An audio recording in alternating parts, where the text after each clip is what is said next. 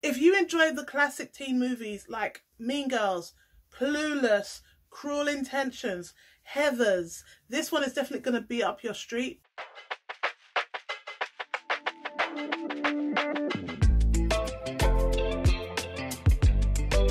Hi, if you're new around here, my name is Alisha Jaye. Welcome to my channel. We're going to be talking about the brand new movie on Netflix, Do Revenge.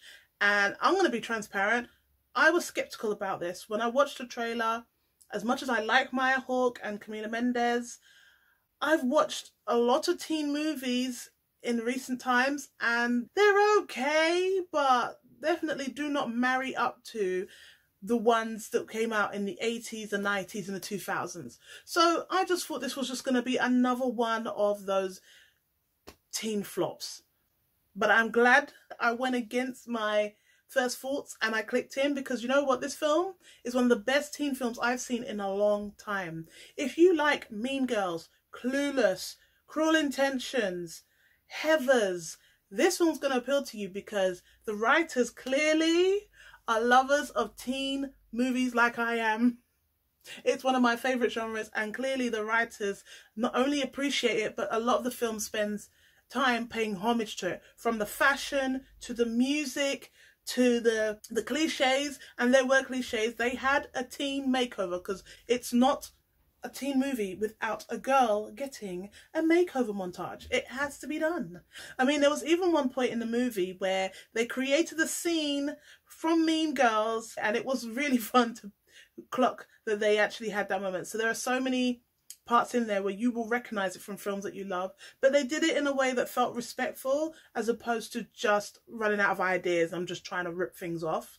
So if you don't know what the plot is, Drea and Eleanor, played by Camila Mendes and Maya Hawke, they have both had their lives ruined by two other individuals in their high schools and they both want to get revenge but they cannot do it themselves because it would be too obvious. So they decide to make a pact where they are going to do revenge and both of them will plot and scheme and get revenge on their other nemesis so then that way they can get away with it scot-free.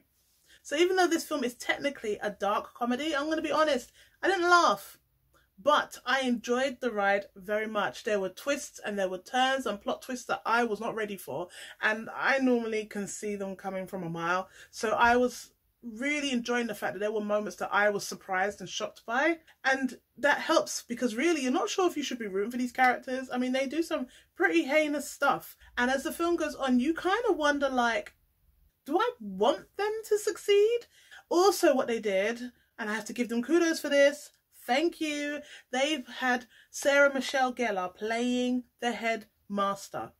Now, Sarah Michelle Gellar is 90s teen royalty. She was in all of the classics. So to see her in this film, and even though it was, you know, cameo appearances, her scenes were short, but they were very sweet. And I couldn't help but wonder if it was really just Kathryn from Cruel Intentions. She just grew up and became the headmaster because Sarah was playing her very much with Kathryn's energy. Maybe it's just me. Uh, let me know. What do you think? If you watched it already, was she giving you Kathryn but with blonde hair? Anyway, so this film, if you've watched it already, do let me know what you think. Did you enjoy this film? Let me know in the comments because I would love to hear what you have to say about it. But for me personally, this was probably one of the best teen films I've watched in a really, really long time. I'm actually wondering, does this film have the potential to be a modern teen classic? Could we add this one to the archive if we're having a teen movie marathon? Let me know, what do you think? Do you think Do Revenge has the potentials for being a modern teen classic? That one that in kids in 20 years time is going to be watching and saying, this film's great. I don't know, let me know in the comments down below. But thank you for joining me.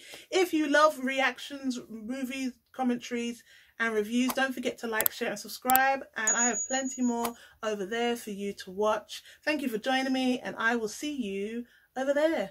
Take care for now. Bye.